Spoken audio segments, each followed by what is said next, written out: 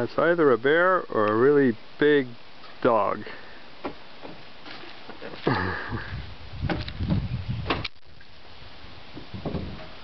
so,